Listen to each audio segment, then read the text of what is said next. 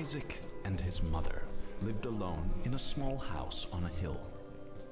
Isaac kept to himself, drawing pictures and playing with his toys as his mom watched Christian broadcasts on the television. Life was simple, and they were both happy. That was until the day Isaac's mom heard a voice from above. Your son has become corrupted by sin. He needs to be saved. I will do my best to save him, my lord, Isaac's mother replied, rushing into Isaac's room, removing all that was evil from his life. Again the voice called to her. Isaac's soul is still corrupt. He needs to be cut off from all that is evil in this world and confess his sins. I will follow your instructions, Lord. I have faith in thee, Isaac's mother replied as she locked Isaac in his room away from the evils of the world. One last time, Isaac's mom heard the voice of God calling to her. You've done as I've asked, but I still question your devotion to me to prove your faith. I will ask one more thing of you. Yes, Lord, anything, Isaac's mother begged. To prove your love and devotion, I require a sacrifice. Your son Isaac will be this sacrifice. Go into his room and end his life as an offering to me to prove you love me above all else. Yes, Lord, she replied, grabbing a butcher's knife from the kitchen. Isaac, watching through a crack in his door, trembled in fear. Scrambling around his room to find a hiding place, he noticed a trap door to the basement hidden under his rug.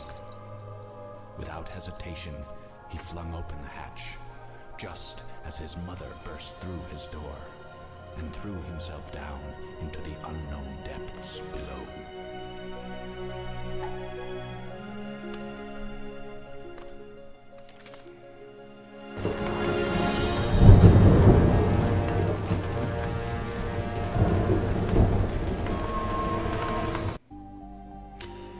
Hallo und herzlich willkommen. Mein Name ist Lenny Possum und ich begrüße euch zu einer neuen Serie, namentlich Binding of Isaac. Ich habe schon relativ viel Binding of Isaac gespielt, habe jetzt aber für die Aufnahme meinen kompletten Spielstand resettet. War wirklich sehr hart für mich, aber was tut man nicht alles? Man sieht hier, ich habe noch nichts entdeckt. Meine Statistik, ich habe einfach den kompletten Spielstand zurückgesetzt. So, dann fangen wir mal an. Wir haben hier mehrere Charaktere, aber wie man sieht, ist noch bis jetzt alles gesperrt. So, jetzt mal grundlegend zur Steuerung. Isaac wird bewegt mit den Tasten WSA und D, wie unschwer zu erkennen. Die Tränen werden mit den Pfeiltasten abgefeuert, können aber auch über die Maus gesteuert werden. Je nachdem, welches Item man hat, kann das vorteilhaft sein, aber meistens empfehle ich die Pfeiltasten. Hier oben sieht man die Leben von Isaac. Hier ist die Minimap von der aktuellen, von dem aktuellen Dungeon, in dem man sich befindet.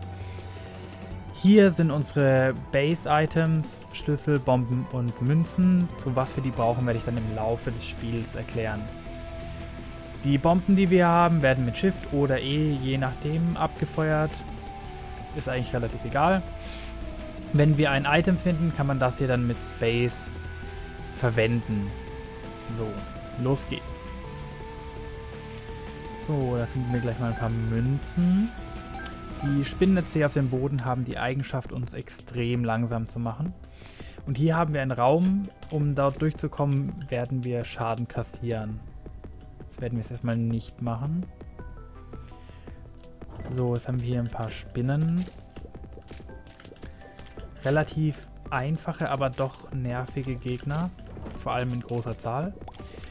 Hier haben wir so Kackhaufen, die so wunderschöne Gesichter hinterlassen.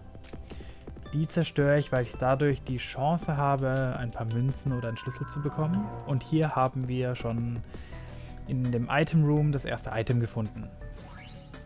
So, das sorgt jetzt dafür, dass wir ziemlich langsam schießen, aber auch sehr große Tränen haben, die auch sehr viel Schaden verursachen. Hier unten ist es ein verschlossener Raum, dazu bräuchten wir einen Schlüssel.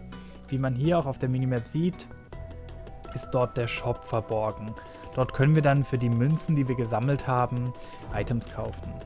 So, hier haben wir etwas größere Spinnen. Ah, fail. Die haben die Angewohnheit, dorthin zu springen, wo man als letztes stand, wenn ich das hier mal demonstrieren darf. Genau. Nichts Großes, aber immer gut zu wissen, wie sich die Gegner verhalten. So. Hier haben wir ein Trinket. Ein Trinket ist eine Verbesserung, die man wie jedes Item auch sammelt, einfach aufsammelt, aber der Punkt ist, man kann die Trinkets wechseln und gleichzeitig immer nur ein Trinket aktiv haben. Jetzt haben wir hier den wunderschönen Krebs gefunden, unheimlich praktisches Item. Erhöht die Geschwindigkeit, mit der wir angreifen. So, jetzt haben wir hier den mit Abstand leichtesten Gegner, der beschwört ein paar Fliegen und macht sonst nichts. Mitunter der leichteste Boss im Spiel.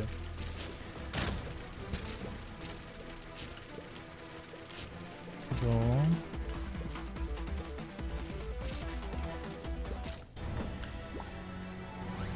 So, mehr HP ist immer gut. Jetzt gehen wir doch mal in den Raum, auch wenn wir ein bisschen Schaden kassieren.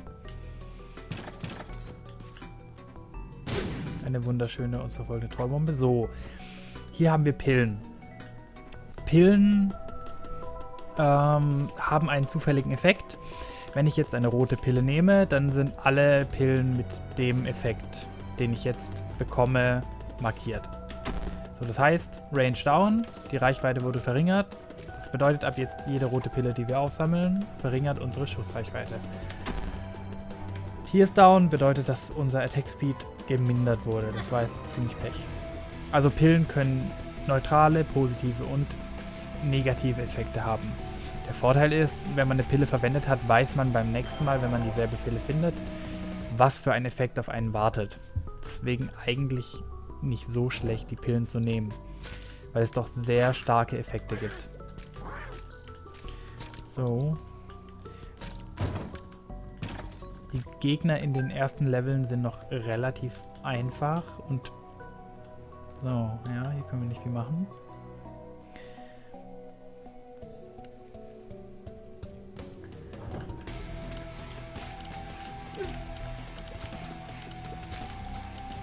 So, wenn, wie man hier gerade sieht, diese komischen Körper, die hier rumhüpfen.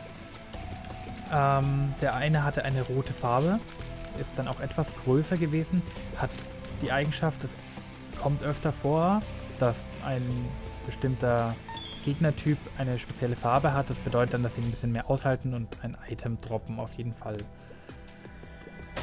So, Ganz viele Feuer. Ich mache die mal kaputt. Vielleicht finden wir irgendetwas Interessantes.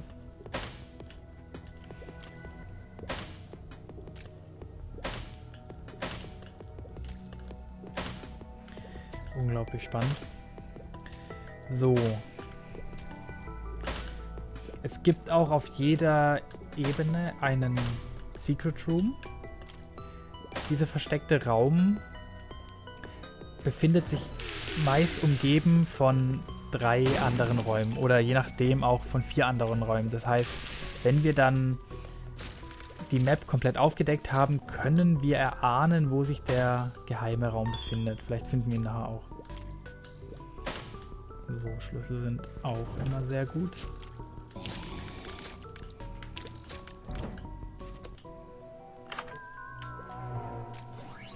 Ein, eine Techfly auch sehr praktisch. Die fliegt jetzt um uns herum und kann, kann dazu verwendet werden, die Gegner zu beschädigen. Kein schlechtes Item, aber auch nicht besonders nützlich. So, hier haben wir einen Spielautomaten. In einen Spielautomaten kann man Geld einwerfen und je nachdem, was für ein Automat sich handelt, kann man relativ gute Items bekommen. So, hier hat man jetzt gesehen, dieser Raum hier wird von drei Räumen abgedeckt. Deswegen habe ich mich jetzt einfach mal entschieden daran, hier die Bombe hinzulegen. Und hier haben wir den Secret Room gefunden. Hier waren jetzt unglaubliche drei Münzen drin. Genau. So.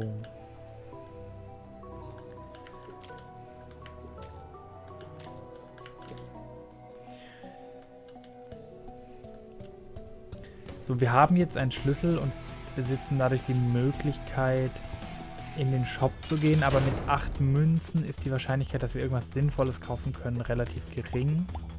15 Münzen sind schon empfehlenswert, wenn man denn einen Schlüssel verwendet. Weil nur auf der ersten Ebene ist der Item Room nicht gesperrt. Das heißt, man muss schauen, dass man in jedem, für jede Ebene mindestens einen Schlüssel übrig hat, um das Item zu bekommen.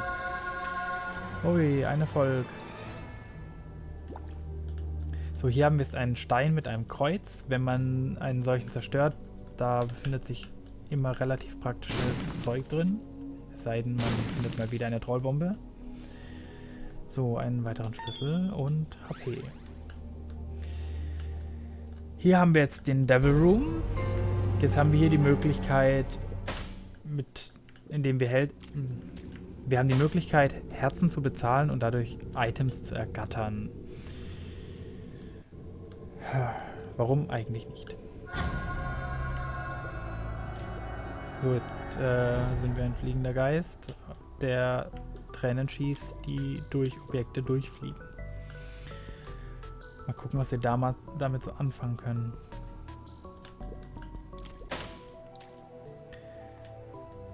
Da ich jetzt einen zweiten Schlüssel gefunden habe, gucken wir mal, was gibt es dann so. Oh mein Gott. Jetzt kriege ich diese Feuer nicht mehr kaputt als Geist. Also, man sieht hier, standardmäßig kostet ein Item 15 Cent und das können wir jetzt auch leider nicht kaufen.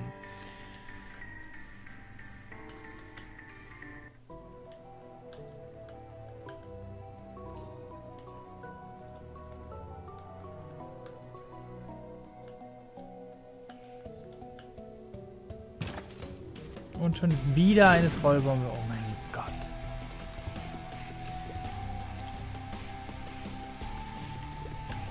muss sagen, die Items, die wir bis jetzt gefunden haben, sind nicht so schlecht, aber auch wirklich gut sind sie auch nicht.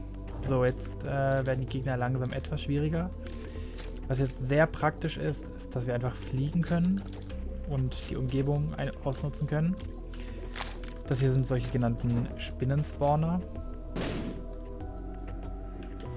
So, hier haben wir einen Bettler. Dem Bettler können wir Geld geben. Und wenn wir ihn lang genug mit Geld füttern, spuckt er auch ein paar Items aus.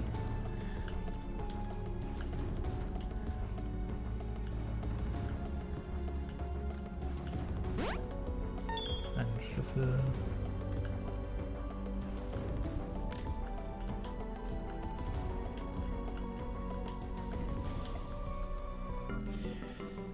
So. Hier ist ein Fighting Room.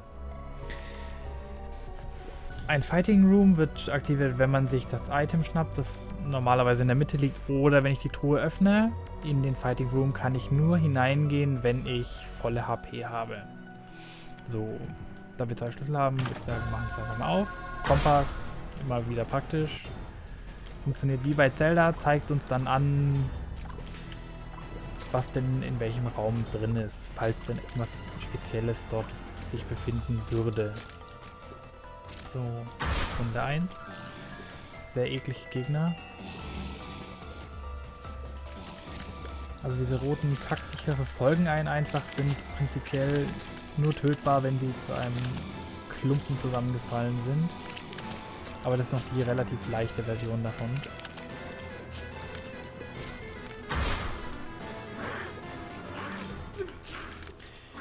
Prinzipiell ist die einzige Schwierigkeit bei dem ganzen Spiel, da alles immer zufallsgeneriert ist, was, wie die Levels aufgebaut sind, was für Gegner man trifft, was für Items man findet, ist alles komplett zufällig aufgebaut. Das Einzige, was wirklich wichtig ist, ist, dass man die ganzen Shots und Abilities von den Gegnern einfach dodgt. Die Karte, die ich gerade gefunden habe, The Moon, teleportiert einen direkt zum Secret Room, die ich dann auch direkt verwendet habe. So. Kann sich nur noch um Stunden handeln, bis ich das vorher kaputt habe. Jetzt hole ich noch am besten meine andere Karte.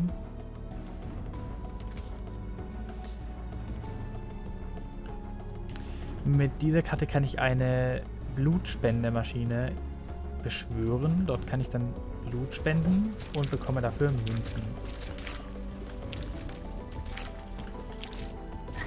Oh mein Gott. Big Fail. So. Ein Herz.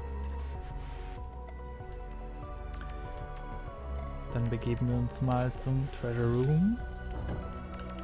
Auch sehr praktisch zu fliegen hier.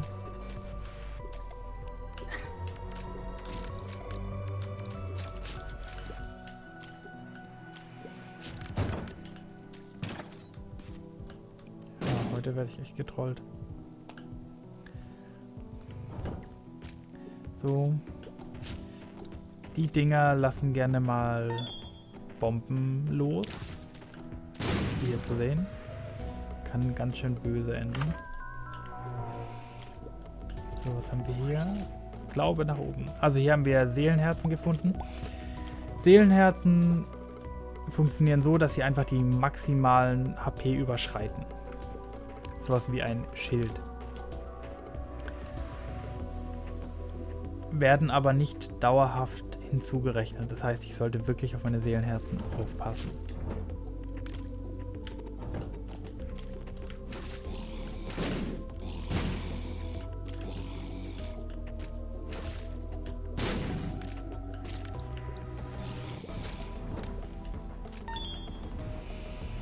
Hmm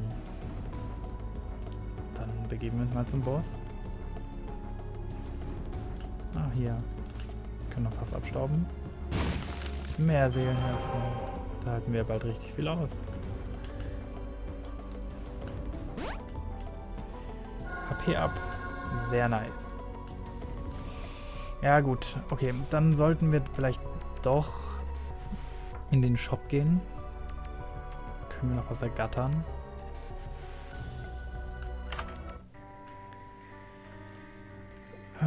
Eine Bibel ist nicht das, was ich jetzt haben wollte. Wobei... Könnte doch interessant sein. Also eine Bibel macht, ist ein sogenanntes Base-Item. Ich kann es dann mit der Leertaste verwenden. Die grauen Kästchen hier, wenn die alle voll sind, dann heißt es, ich kann das Item verwenden. Ähm, genau. So, jetzt beschwöre ich unsere Blood Donation Machine. Besorge mir ein bisschen Kohle.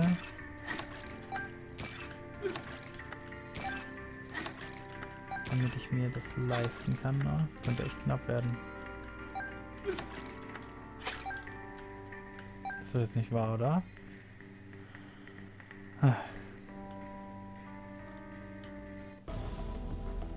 Kann doch nicht wahr sein. Okay.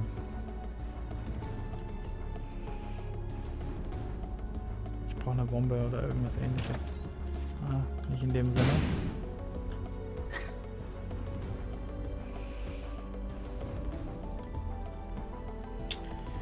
Dann hoffe ich mal, dass der Boss was für uns hat.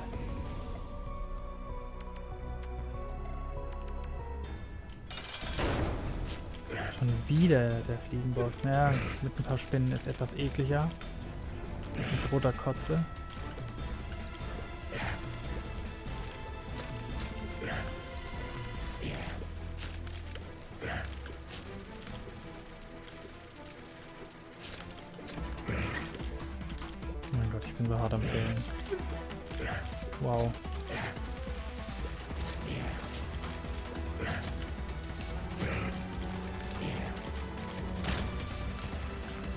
Sehr interessant, sehr interessant.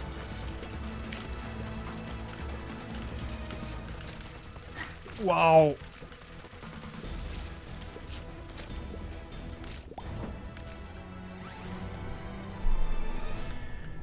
Okay.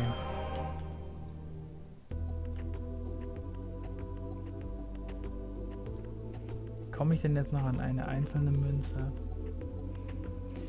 Also die Bibel hat ja prinzipiell keinen Nutzen, weil sie lässt einen nur für einen, für die Dauer eines Raumes fliegen. Ah, interessant, funktioniert. Aber wenn ich dann beim Endboss bin, ist es ein One-Hit-Kill. Was ich auf jeden Fall gebrauchen kann.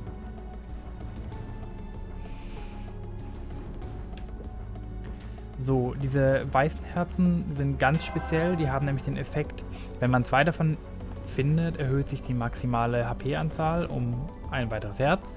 Wenn ich nur ein halbes habe und die nächste Ebene betrete, wird es aufgefüllt und ich bekomme ein weiteres Herz, obwohl ich nur ein halbes gefunden habe. Wie man jetzt sehen wird, ein weiteres Herz.